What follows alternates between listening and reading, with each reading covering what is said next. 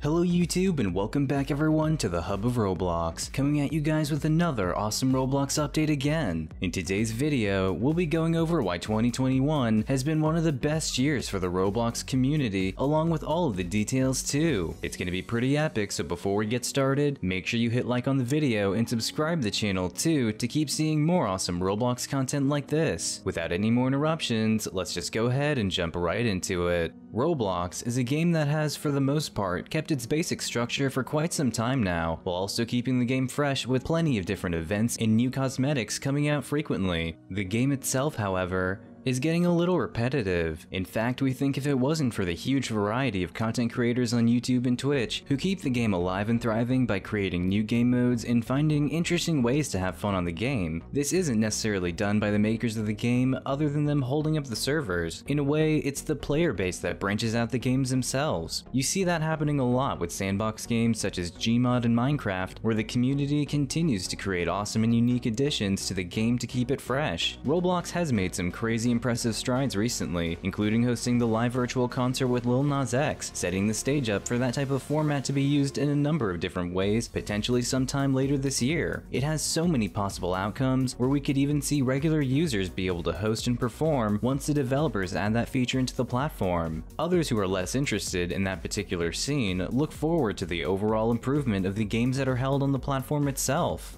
We would hope to see a big overhaul with some of the content in the game. We'd never want them to remove the vanilla portion because that should always be an aspect that should be available to all the players. They could potentially add a separate portion of the game that offers more modes on a different server and host custom games of some sort. Maybe even a boost to the graphics that can't be done with mods. The possibilities are endless with what they can do and they don't really have much more time left. Who knows, we might even see the end of Robux as well. There have been a numerous amount of scams done to the children's side of the player base since the inception of the currency as there's nothing more they can do to minimize the risk of scams except spread awareness on how to recognize and avoid them. It's crucial for the developers of the game to be constantly listening to the fans so as to know what changes need to be made and added to have the game remain fresh in the upcoming years, but still sparking that thought of this is definitely Roblox. Only time will tell, so we can just wait and hope that the future of Roblox this year and the next will be brighter than remotely anything that happened in 2020. There is always that dark chance that we might see some of the rather negative treatment some games have recently gotten in the past few months, as in developers and game companies neglecting the user base and not adding sufficient updates to a game because of pure laziness. We're looking at you, Nintendo. New updates from the developers and constant feedback from the community, also known as you guys, will surely help the game flourish and improve into a brand new Roblox experience that old and new players can enjoy together all in the future. It really is exciting laying out all the possibilities and we can only hope that the better of the two is the actual outcome this year. The community, however, has still been overwhelmingly supportive of this great game we all love, and it's why it has continued flourishing recently just like it has been. Be on the lookout for the plethora of new Roblox content creators that start appearing as well, because with the rate that Roblox is getting even more popular, we are bound to see some amazing new talents to show off their skills on YouTube, Twitch, and all over the rest of social media sometime soon this year. But let us know what you guys think this year has in store for Roblox down in the comments below. Thank you guys for watching, and don't forget to hit that like button and subscribe to the channel too so we can keep on making awesome Roblox content for all of you guys. You can also tap the notification bell icon as well to not miss out on any of our future uploads and be the first to know the hottest Roblox updates out there. This is the Hub of Roblox signing off, and we will catch you all in the next one.